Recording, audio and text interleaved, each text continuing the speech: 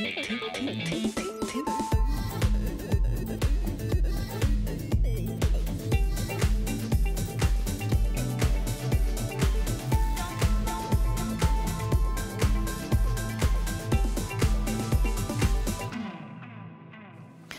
Dans le cadre de l'étrange Noël de France Culture, on ouvre les portes de notre club de lecture avec et autour l'écrivain Franck Bouis, auteur de romans d'Onglaise à la Manufacture des Livres, en deux, livres en 2017, Orpheline aux éditions Moisson Noire en 2020. Il entre cette même année chez Albin Michel pour Buveur de vent et revient cette année avec L'homme peuplé, un roman qu'on ouvre sur des vers du très grand poète William Butler Yeats. C'est que je cherche une image et non un livre. Tous ceux dont les écrits sont emplis de sagesse n'ont rien d'autre que le cœur aveugle et gourd. Bonjour à vous, Franck Bouis. Bonjour. Vous êtes auteur de romans, mais également scénariste de bande dessinée. Vous venez de co-signer Été brûlant à Saint-Hilaire, toujours chez Albin Michel, une comédie campagnarde dans la France du général de Gaulle. Alors vous savez, Franck Bouis, on vient d'ouvrir euh, ce, lundi, et pour deux semaines, une programmation spéciale sur France Culture jusqu'au 30 décembre, l'étrange Noël des écrivains. On entendra la parole de Brigitte Giraud, de Pierre Ducreuset, de Grégoire Bouillet ou encore de Lucie Ricot. Des autrices et des auteurs nous donnent pour Bienvenue au Book Club chaque jour d'un inquiétants conseils de lecture pour faire revivre le fantastique et l'étrange avec des livres. Tout cela recueilli par Oriane Delacroix. Aujourd'hui, c'est l'écrivain franco-libanais Sabil Goussoub euh, qui a été euh, le prix Goncourt des lycéens cette année avec Beyrouth sur scène paru chez Stock qui nous livre son conseil de lecture.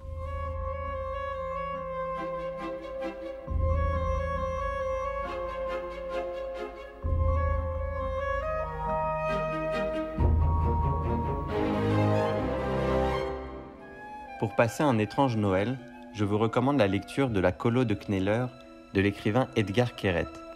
Publié en français en 2001, ce roman vient tout juste d'être réédité par les éditions de l'Olivier. On y suit un jeune homme, Chaim, qui vient de mettre fin à ses jours et se retrouve dans un au-delà où sont parqués tous les suicidés. Les premiers mots du roman donnent le ton. Deux jours après m'être suicidé, j'ai trouvé du boulot ici, dans une pizzeria qui fait partie d'une chaîne, le Kamikaze.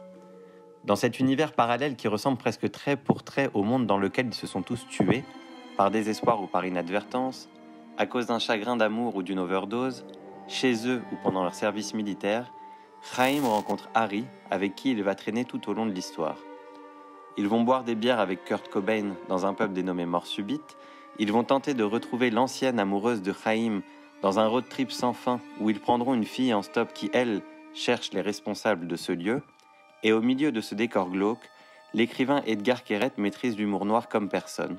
On rit, on rit de l'horreur du monde avec ses suicidés qui sont souvent tentés d'en finir une seconde fois.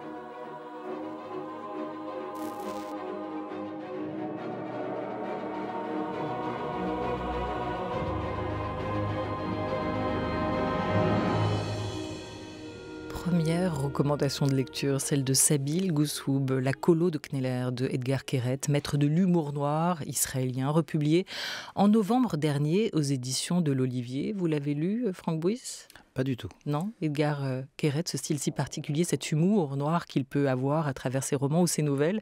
Edgar Allan Poe, on pourrait aussi citer Émilie Bronte, Daphné du Maurier. De quelle étrangeté êtes-vous friand, vous, en tant que lecteur?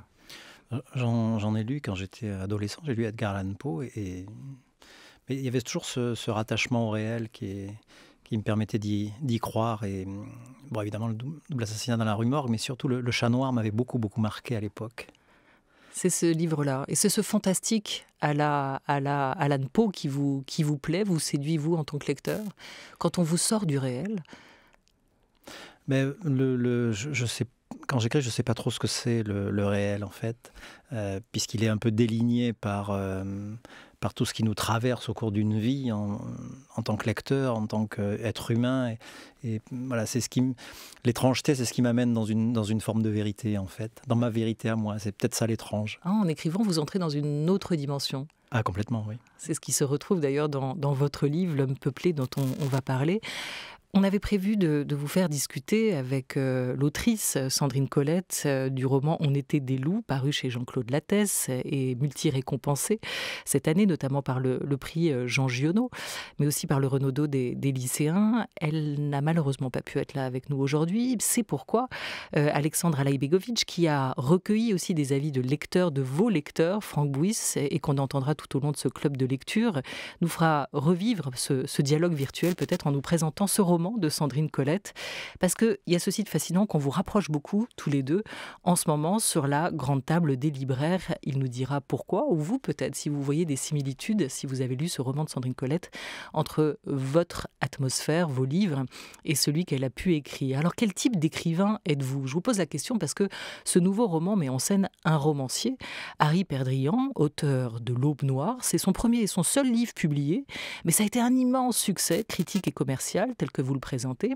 Et il a eu tous les honneurs à cette occasion. Il a été encensé, couronné, courtisé, hypocrisé, et très vite on s'est mis à l'attendre au tournant, ce pauvre romancier qui subit euh, la pression de, non pas de l'audimat cette fois, mais de son lectorat. Il est très attendu pour un second roman et il peine, il peine à l'écrire cet autre, cet autre livre. Vous, quel type d'écrivain êtes-vous? Angoissé? Non, je suis pas un écrivain angoissé du tout. Euh, alors, il ne faut pas forcément chercher le, ce double-là, euh, cette ressemblance-là, mais en tout cas, les questionnements euh, autour de la littérature, autour de ce qu'est écrire un livre, de ce qu'est euh, l'écriture, ça, c'est un questionnement que j'ai qui me, j'allais dire, qui me hante, pour rester un, petit, un petit peu dans l'étrange. C'est-à-dire, voilà, ne, pas c'est une forme de mise en danger un petit peu inconsciente, mais de, ne pas réécrire le même livre, de décliner toujours ces, fameuses obsessions qui issues de l'enfance, et, mais de le faire avec une forme toujours, euh, essayer de le faire d'une forme renouvelée. Euh, et, pour paraphraser un peu Yates, que vous citiez au début, c'est voilà, c'est par où, par quelle image tout ça surgit, parce que je pense que le, le, travail du, romancier, c'est de faire surgir des images, mais pas des, lieux communs, des images singulières, qui amènent justement le lecteur dans votre atmosphère, qui le piège. Hmm. Et, c'est vrai que votre narrateur, on voit là quand même le, double, rappelle qu'un auteur ne devrait pas écrire une seule ligne qui ne soit en rapport avec des obsessions profondes. Ce que vous faites, du coup, on l'imagine aussi dans ce roman euh, L'homme peuplé. Quelles obsessions de vous avez-vous mis dedans? Ah ben ça, il faudra me lire pour. ah oui, vous ne dévoilez pas vos secrets. Non, non, non, non. D'accord. Je pense qu'elles sont assez faciles à identifier.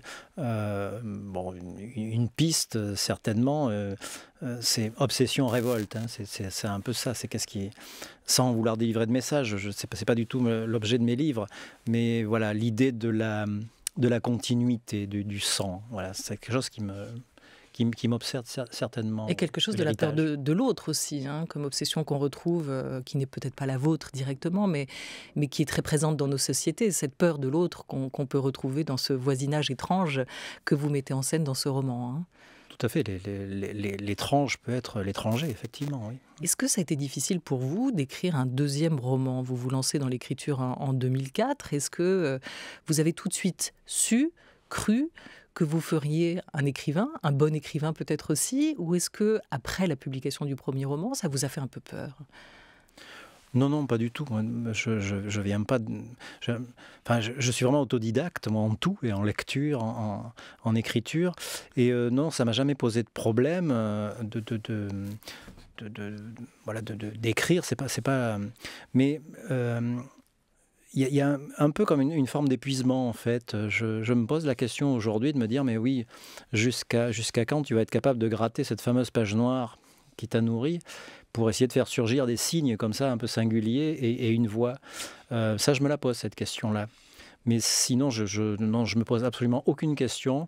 C'est le, le, le, doute qui me, qui me prend quand je, commence les, quand je démarre l'écriture d'un livre est suffisant pour que je ne me, m'apitoie pas sur mon, sur mon petit sort. Ouais. Alors il a quelque chose de vous encore, ce romancier, Harry, parce qu'il euh, il n'a pas écrit une ligne pendant cinq ans, pas une ligne qui lui appartienne, euh, raconte le narrateur. Il écrit, mais visiblement ce n'est pas lui.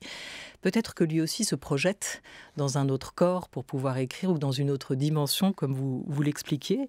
La tentative d'un deuxième roman, en tout cas, a été pour Harry un échec. Il en avait été tellement malade, il trouvait que ça sonnait faux et creux, et qu'il y avait au fond rien à sauver dans ce manuscrit, euh, que son éditeur était pourtant prêt à publier, à part peut-être le titre qui était J'écris, j'écrivais? Oui, j'écrivais. J'écrivais au passé. J'écrivais. Est-ce que ça peut commencer Est-ce que ça peut euh, continuer?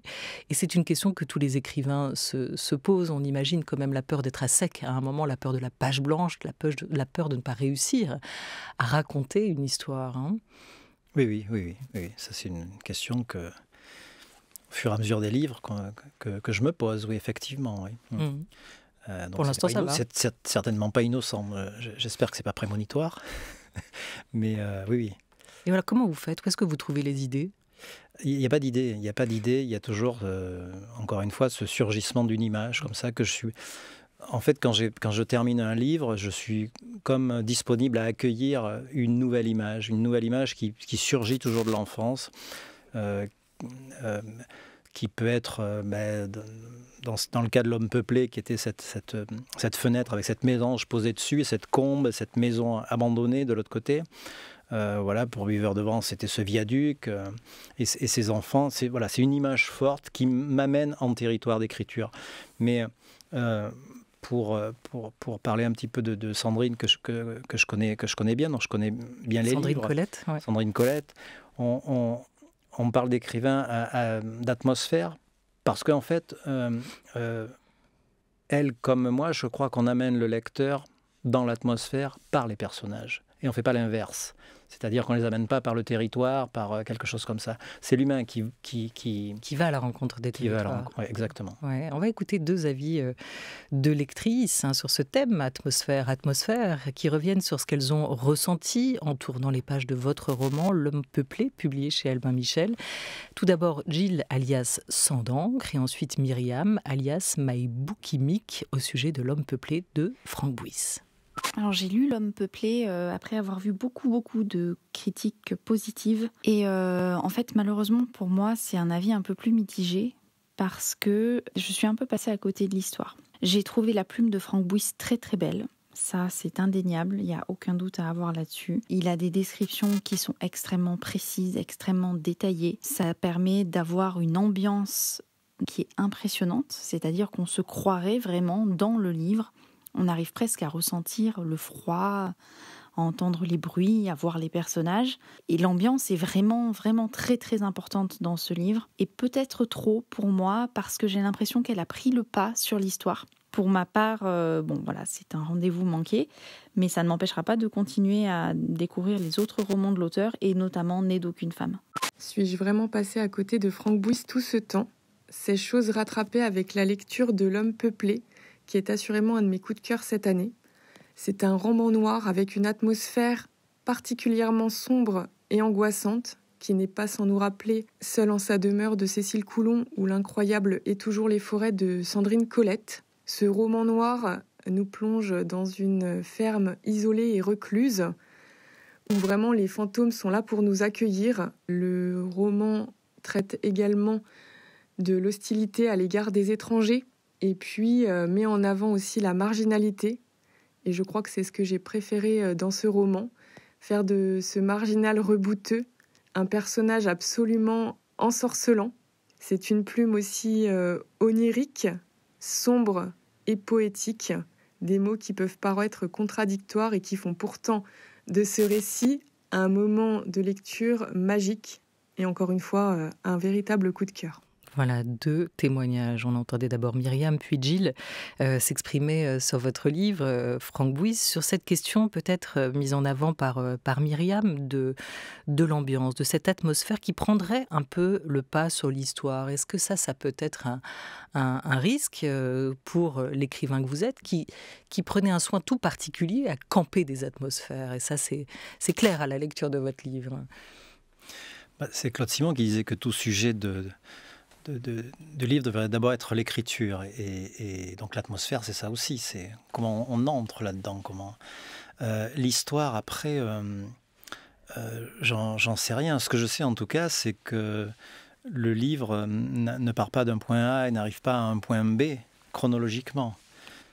J'ai voulu impliquer le lecteur là-dedans, dans cette histoire-là, avec ses avec des, croyances qu'on peut avoir en tant que lecteur, de, se dire voilà, bon, ces deux personnages, ils sont l'un en face de l'autre, ils vont se rencontrer quand? Mais non, ça marche pas comme ça. Ça marche pas comme ça. Euh, euh, ensuite, euh, je sais pas quoi, quoi répondre à cette idée de, l'histoire, parce que l'histoire, elle est, elle est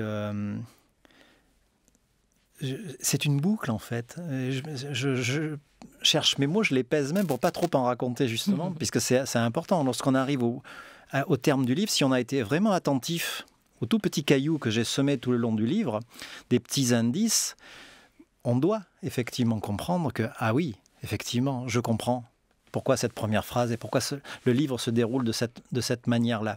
Parce qu'il ne faut pas oublier une chose, c'est que ce n'est pas juste une histoire de, d'hommes seuls, de marginaux, etc., d'un écrivain qui part à la campagne pour fuir quelque chose et retrouver une forme d'écriture. C'est pas juste l'histoire d'un jeune euh, type comme ça qui est un peu sourcier, sorcier, etc.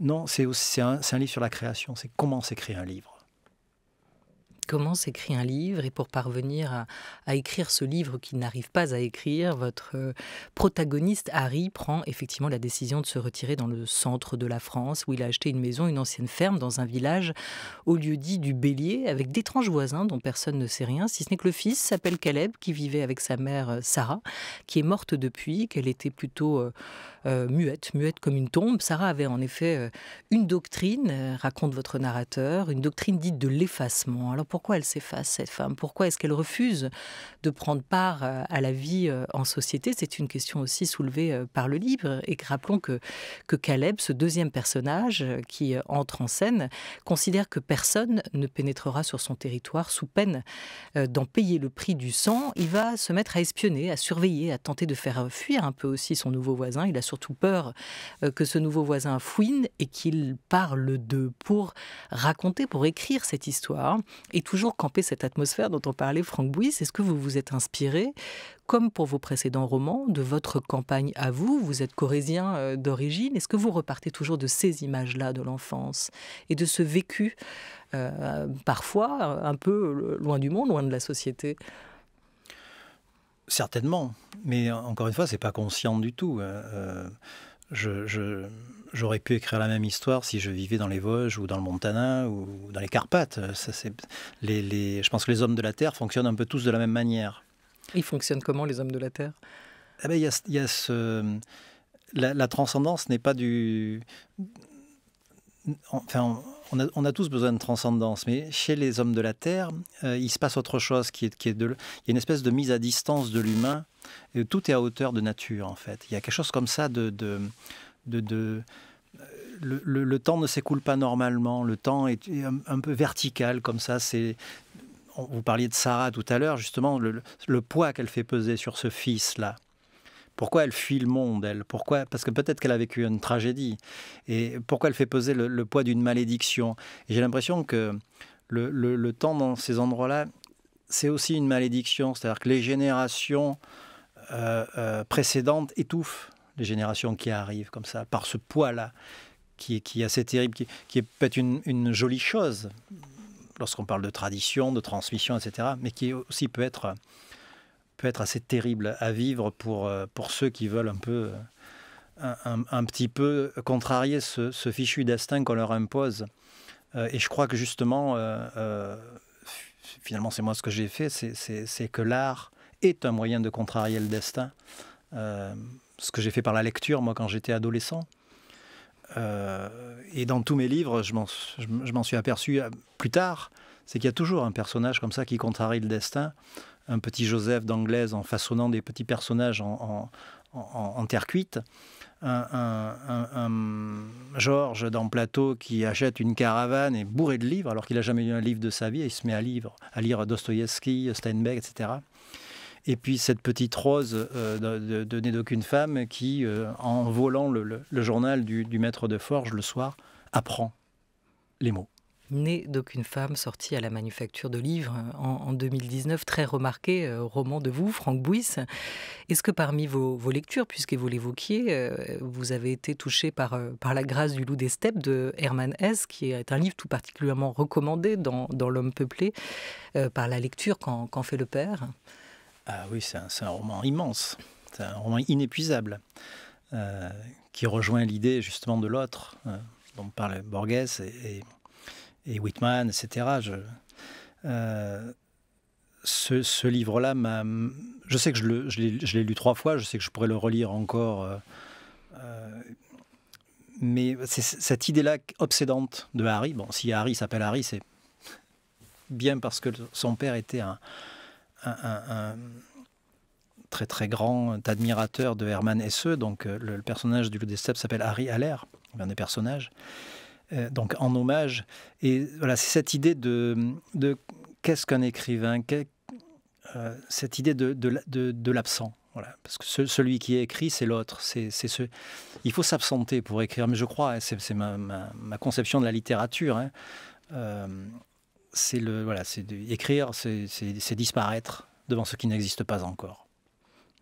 Franck Bouys est notre invité euh, aujourd'hui à l'occasion euh, de ce livre, L'homme peuplé, qui a paru à la rentrée, roman publié chez, chez Albin Michel. Alors on évoquait les personnages, Harry, Caleb, de ce, roman, L'homme peuplé. Il est vrai qu'Harry va être confronté à, des choses un peu bizarres, d'où l'étrangeté hein, aussi de ce roman, euh, des, des, puits, avec dans son fond une carcasse de bélier et plein d'autres détails que vous faites entrer dans la narration pour créer un sentiment un peu ambigu, un, un sentiment un peu tendu aussi chez votre lecteur. On ne va pas en raconter plus. Lisez ce roman si vous voulez connaître la suite, mais quand même, juste encore peut-être que Harry va finir par trouver sa place, ou mieux encore que Harry a enfin retrouvé le doute sublime qu'il efface et l'invente, écrivez-vous euh, dans ce livre, ce qui laisse planer le mystère et n'en dit pas trop. Mais cette idée est très belle. Harry a enfin retrouvé le doute sublime qu'il efface et l'invente. Sur la fin de votre livre, là encore sans rien dévoiler, une lectrice, Emma, Emma lit un peu, c'est son alias, au sujet de, l'homme peuplé, de, vous, Franck Bouys, euh, raconte qu'il y a eu beaucoup de discussions sur cette fin. On l'écoute. Le dernier roman de Franck Bouys fait parler. Quelle est donc cette fin? Mais revenons quelques secondes à l'histoire. Dans un petit village, un jeune écrivain, Harry, achète une vieille maison. Il peine à écrire et pense que l'inspiration lui viendra dans cet isolement voulu et rural. Non loin de là vit un homme mystérieux que les gens du village lui conseillent d'éviter. Très vite, Harry sent l'hostilité prendre vie. Quel secret se cache derrière les avertissements et les regards qui se dérobent? Comme Harry, le lecteur est dans le brouillard, les théories diverses circulent. Je me souviens d'une discussion avec ma maman, le livre à la main, les pages qui tournent et tournent, et soudain elle s'écriant Elle est là la clé. Le jour-là, nous n'avons compris qu'une partie du mystère. Je me rappelle également une cliente à la librairie me proposant une explication qui ne collait évidemment pas à la mienne. Alors, monsieur Bouis, je vais relire L'homme peuplé, et avant de le relire encore et encore, car après tout, il y a pire malédiction dans une vie de lectrice que de relire à l'infini d'excellents romans, oui, avant de le relire, et sans en dire trop, pouvez-vous nous donner un indice? Ah, Franck Bouys, question d'une auditrice lectrice pour vous, euh, déposée sur le hashtag Book Club Culture sur Instagram. Euh, alors c'est un peu compliqué, surtout pour les, gens qui l'auront pas lu. Alors c'est pas tant un, il cherche pas l'inspiration. Et justement, quand le livre se termine, on, s'aperçoit qu'il cherchait pas l'inspiration, puisque ce livre est une boucle. C'est une boucle.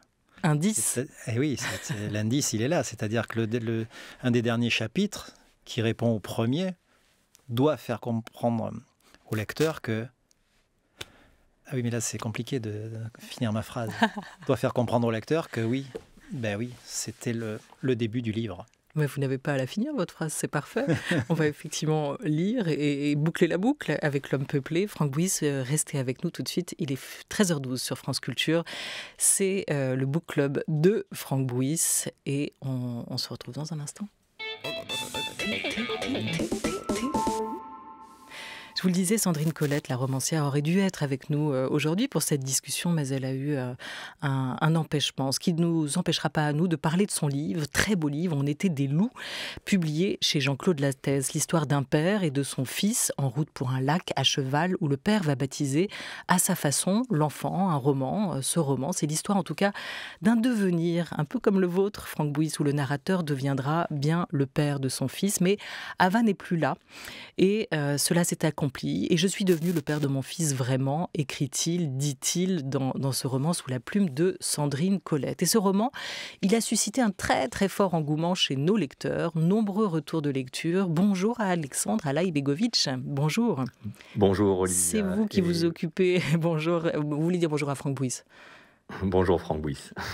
Bonjour. Bonjour, c'est vous qui vous occupez au quotidien euh, de faire vivre cette communauté de lecteurs, ce club de lecture de, France Culture. Et il y a eu beaucoup, beaucoup de réactions sur le livre de Franck Bouis. On les entendait euh, en partie tout à l'heure, mais aussi de, Sandrine Colette. Hein.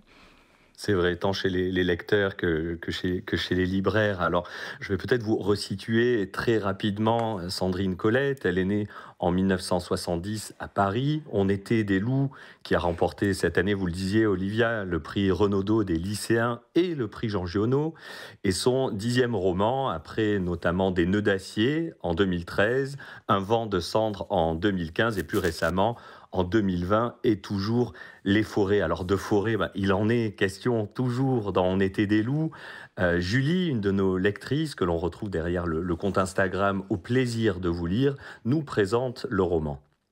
On était des loups de Sandrine Colette a été mon plus gros coup de cœur de cette année 2022. Dans ce livre, on suit Liam qui vit avec sa femme Ava et leur fils Haru dans un endroit très reculé au milieu des montagnes. Le jour où sa femme succombe aux blessures d'un ours, Liam se retrouve seul avec son fils, ce fils dont il n'a jamais voulu et qu'il va vouloir abandonner. Ce livre était exceptionnel, magistral, tant du point de vue du style que de l'histoire. On est à la première personne, c'est le père qui parle, ce père bourru et rustre qui crie son chagrin et son désespoir, ce père qui part à dos de cheval avec son fils pour se séparer de lui en pleine montagne parce qu'il n'a jamais appris à l'aimer. C'est écrit comme c'est parlé et ça prend aux tripes. C'est majestueux et grandiose à l'image de la nature omniprésente dans ce livre. Je recommande à tout le monde de lire cet ouvrage absolument bouleversant. Alexandra Laibegovic. Bah, vous avez entendu Julie, Olivia, il y a des parties de prix, des parties pris de fond et de forme très nettes de, de l'autrice. Le roman, c'est une sorte de monologue intérieur d'un personnage qui ne déclenche pas d'emblée l'empathie. Et puis il y a ce langage parlé, peu ponctué, haletant, qui est le langage que l'on ne parle finalement qu'avec soi-même, en soi-même. Alors ces partis pris, ils ont très largement euh, conquis nos, abonnés. Ils ont aussi pu en désarçonner euh, certains. On écoute Edgar, Catherine et Thibault. Ce que j'ai beaucoup apprécié dans le roman de Sandrine Colette, c'est le type de narration qu'elle a utilisé pour se rendre un peu plus compte de l'état d'esprit du père et de, son manque de, culture. Il y a un certain manque de ponctuation dans l'écrit, et du coup, ça donne un certain rythme au roman, une beauté, une poésie, malgré euh, la douleur, la rage. Cette narration permet vraiment de, faire ressortir toute la beauté de la chose, c'est ce que, ce que j'ai beaucoup apprécié. Si j'ai été tentée par l'histoire de ce père vivant seul en milieu hostile avec son fils, j'ai regretté le manque de suspense. On se doute plus ou moins de la fin du roman. Je n'ai pas adhéré au style de l'écriture de l'autrice, qui est trop incisif et manque de ponctuation, ce qui rend la lecture inconfortable. De plus, j'ai été dubitative devant les exploits d'un gamin de 5 ans que je n'ai pas trouvé crédible. J'ai eu du mal à me laisser emporter par l'histoire et je n'ai pas réussi à éprouver de l'empathie pour les personnages. La première chose qui me vient en tête, c'est l'écriture. On pense assez rapidement que c'est un homme qui écrit, un homme assez ténébreux, peut-être cynique, et en fait, non, euh, c'est ça qui est très perturbant, en fait, déjà dans un premier temps. Les personnages sont assez euh, forts, ils imposent vraiment dans, dans le récit. Euh, autant l'innocence en fait de cet enfant que la, posture du père, le, le, fait ce père qui doit devenir père en fait d'un coup, qui, qui ne sait quasiment peut-être rien des, des missions d'être papa et qui d'un coup bah, se voit être dans l'obligation de gérer, de gérer ce gosse. Et c'est exceptionnel. Vraiment, c'est un roman qui est brillant, qui m'a bouleversé. Pour moi, c'est vraiment un des plus beaux romans de la rentrée littéraire. Voilà, trois lecteurs, euh, témoignages recueillis par euh, Alexandre Alaibegovic. Euh, Franck Bouys, on, entendait notamment cette question de la langue chez, Sandrine Colette qui est très particulière, la vôtre aussi, mais c'est deux styles assez différents. Si je lis juste le premier paragraphe de On était des loups, ça commence ainsi. C'est la nuit, je regarde l'enfant qui dort, un tout petit enfant, il ne sait rien du monde, il ne sait rien faire. Un enfant, ce n'est pas fait pour la vie. Cette vie-là, je veux dire, qui est immense et brutale devant lui, devant nous.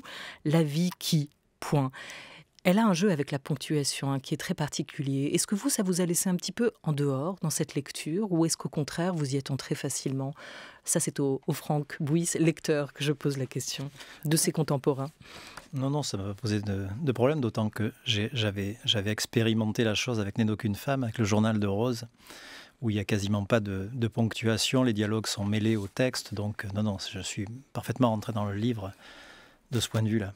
Votre narrateur, euh, Franck Bouis, celui de L'homme peuplé, euh, nous dit qu'il a conscience qu'écrire ne consiste pas à noircir une page, mais que précisément la page à écrire a déjà été noircie par Homère, par Shakespeare, par Proust, par Faulkner et par quelques autres. Est-ce que tout a déjà été écrit? Est-ce que quand on écrit, on vit avec cette idée qu'il faudrait pouvoir renouveler ce que, ce que ces monuments de la littérature ont déjà créé et inspiré? Je ne crois pas qu'on révolutionne la littérature, que personne n'est capable de révolutionner la littérature. Peut-être le, seul qui l'a, qui, l'a révolutionné d'une certaine manière, c'était William Faulkner. Euh, mais ce qu'on fait, tout, le premier travail d'un écrivain, c'est de lire. Voilà, c'est de lire. Lire et de ramasser des, pierres au bord du chemin de temps en temps et de construire sa petite maison singulière.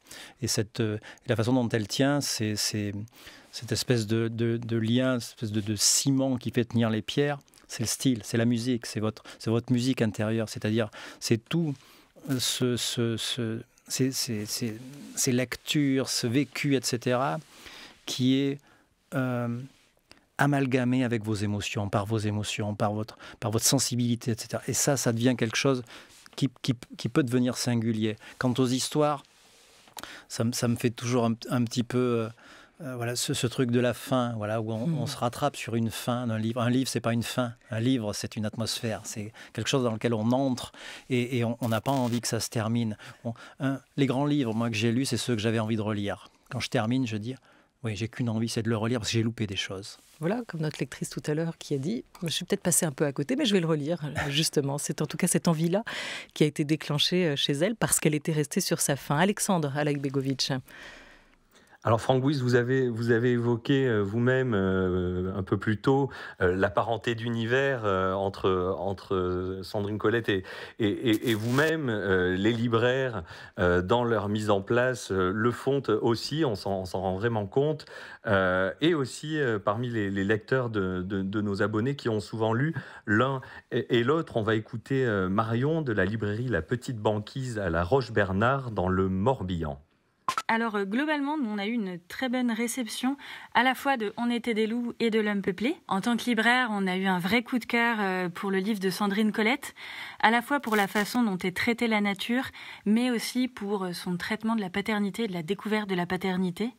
Chez les lecteurs qui viennent chez nous, on remarque un véritable engouement autour des livres qui plongent au cœur d'une nature dure et sauvage avec les personnages bien sûr qui vont avec. Pour l'homme peuplé, personnellement, j'ai euh, un peu craint la noirceur des personnages au début de la lecture. Mais ensuite, j'ai vraiment été embarquée par le style de Frank Bouys. Et c'est d'ailleurs le retour qu'on a. Les lecteurs de Frank Bouys sont vraiment euh, beaucoup aimés ce dernier livre. Une question pour vous, Une question pour vous, Franck Bouys. Est-ce que vous avez lu le roman de, Sandrine Colette? Et si c'est le cas, qu'est-ce qui, selon vous, euh, le rapproche et l'éloigne du vôtre? Euh, oui, je l'ai lu. Je l'ai lu euh, même, avant sa sortie. Euh, oui, il y a, des, parentés, des filiations, évidemment. Et puis, on a, vraiment publié notre premier bouquin en même temps. Moi, c'était Grossir le ciel un an après Des nœuds d'acier. ensuite, c'est étrange parce que moi, j'ai pas senti la, la nature présente. C'est vraiment les deux, les deux personnages. Les personnages là, qui m'ont qui m'ont pris un peu comme, euh, comme euh, je trouve une filiation avec la route de McCarthy, euh, même si c'est pas du tout le même, le même thème, cette espèce de cheminement comme ça, de quête. on était, on était, puis c'est des vrais partis pris. C'est quelqu'un qui prend des risques, Sandrine, donc c'est éminemment respectable. Même à cheval, même à cheval. Pense le matin, agit à midi, mange le soir, dort la nuit. Est-ce que vous appliquez cette maxime à la lettre, celle que vous, vous recommandez, ce conseil de vieux sage qu'on retrouve dans votre roman, Frank Buis? Le plus souvent possible. Et vous écrivez quand dans tout ça? Au moment où vous pensez, au moment où vous agissez Donc le matin ou à midi? Il faut agir pour écrire. Ah, ça, il faut s'y mettre. Donc c'est le temps du midi. On retrouve dans, vos deux romans, celui de Sandrine Colette et, le vôtre, Franck Bouis, mais surtout dans le vôtre, cette idée donc de l'atmosphère qu'on évoquait, de cet ailleurs aussi, hein, cet ailleurs parfois sauvage, hein, parfois euh, un peu rude aussi, qui a été euh, présent dans, la plupart de, vos romans, que ce soit le plateau, que ce soit Glaise. Vous évoquiez aussi euh, Né d'aucune femme tout à l'heure qui, qui pose, euh, qui pose d'autres questions et qu'on retrouve aussi dans une bande dessinée de manière beaucoup plus joyeuse. Un été brûlant à Saint-Alaire euh, que vous avez euh, co-scénarisé, qui est illustré par Daniel Cazenave. C'est votre première bande dessinée, Franck Bouys oui, alors je ne l'ai pas co-scénarisé, je l'ai scénarisé. Vous l'avez scénarisé, pardon. J'ai co-scénarisé Glaise, là, qui va sortir en, en, mars, l'adaptation d'un de mes romans. Euh, et là, c'est une comédie campagnarde. Hein oui, oui mais avec un, quand même, avec un fond de, de je ne peux pas m'en empêcher, de mystère, de, de, voilà, je, je, je, mets un petit peu le, ces personnages face à leur, euh, bêtises parfois, à leur euh, drôlerie, à leur, euh, à leur, drame aussi. Alors, euh, mais on s'est beaucoup amusé avec, avec Daniel, qui est un, excellent camarade de jeu. Voilà, et elle vient de, paraître, cette bande dessinée, début novembre chez Albin Michel aussi. Merci beaucoup à tous pour vos nombreux et merveilleux conseils de lecture. C'était courageux de donner votre avis publiquement et c'est précieux ce partage. Merci à Alexandra Laïbegovic, votre interlocuteur unique pour ce club de lecture qui, à ce rythme d'abonnés, va bientôt donner des sueurs froides à TikTok. Tout de suite, c'est les quadrithèmes de l'ami Charles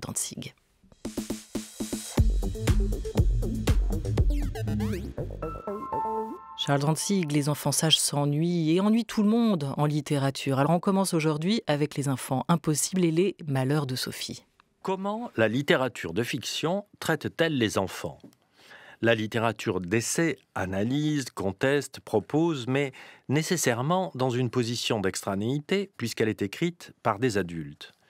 La fiction, elle, dispose de personnages par lesquels elle s'approche de l'altérité. Même si l'auteur n'aime pas un personnage, le simple fait qu'il passe beaucoup de temps avec lui, tente de comprendre sa façon d'agir, l'en rapproche.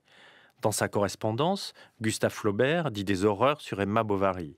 Dans son roman, il ne peut pas s'empêcher de laisser passer une certaine pitié. Les enfants insupportables sont passionnants. Voilà d'ailleurs une des différences essentielles entre la littérature et ce qu'on appelle la vie, entre les personnages et les personnes. Ces enfants que nous ne supporterions pas cinq minutes en chair et en os, nous passons des heures en leur compagnie dans les livres. Et plus encore leurs parents, n'est-ce pas? Car ce qu'il y a d'insupportable, ce sont les parents d'enfants odieux. Les enfants dans la littérature sont probablement une invention des temps bourgeois le plus illustre enfant insupportable de la littérature du XIXe siècle est Sophie, la Sophie qui a des malheurs dans le roman de la comtesse de Ségur. Que de malheurs 22 chapitres, 150 pages, où chaque fois Sophie commet une erreur, est punie et souffre. Au moins, les ordalies du Moyen Âge ne comportaient qu'une épreuve. C'est une enfilade de tortures que traverse la malheureuse enfant l'enterrement de sa poupée, les cheveux qu'elle mouille pour les faire friser, les sourcils qu'elle rase, l'abeille qu'elle découpe. Enfant est un mot péjoratif chez la comtesse de Ségur. Quand elle donne pour titre Quel amour d'enfant à un autre roman, c'est un sarcasme. Chez elle, les enfants sont hystériques. À commencer par Sophie. À sa première apparition, elle accourt. À la seconde, elle pousse un cri de joie. Puis elle saute. Que reste-t-il à faire? À la punir. Quand Sophie tente de comprendre ce qu'on lui impose, sa mère l'accuse de raisonner. Le raisonnement est un crime, c'est bien connu. On punit Sophie, mais cela ne sert à rien. On dirait que les punitions sont l'objet unique de ses aventures. Madame de Réan en arrive à la plus grande mauvaise foi. Ainsi, elle refuse d'acheter un chien à Sophie sous le prétexte qu'il pourrait devenir enragé, ce qui, je cite, arrive assez souvent. Ah bon? Des malheurs de Sophie, la comtesse de Ségur jouit. Elle l'a faite laide en plus. Quelle vicieuse. C'est elle qu'on aurait dû fouetter. Cet atroce roman montre qu'il y a moins d'enfants insupportables que d'adultes mal intentionnés. Sans cela, que l'on m'explique pourquoi les propagandistes de la famille, si prompts à menacer et à hurler, ne descendent pas par millions dans la rue pour réclamer le jugement du clergé quand il ne se passe pas un jour qu'on ne découvre un viol, un abus, une horreur certains parents sont les ennemis de leurs enfants. Merci beaucoup Charles Danzig. Je vous invite à podcaster notre book club des classiques autour des malheurs de Sophie, de la comtesse de Ségur. C'était le 2 décembre dernier. Merci à Anouk Delfino et Oriane Delacroix qui ont programmé cette émission, à Zora Vignier qui viralise chaque jour votre parole sur les réseaux et à Grégory Wallon à la technique. À Didier Pinault qui vous a lu, Franck Wyss, merci beaucoup à vous et qui nous a aidé à préparer cette émission. Au revoir et très belle journée.